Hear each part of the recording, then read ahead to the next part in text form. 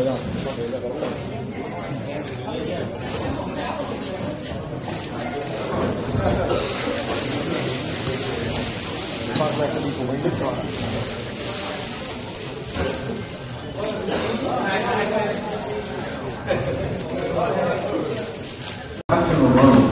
이게 선수한테 부담이 될 수 있습니다.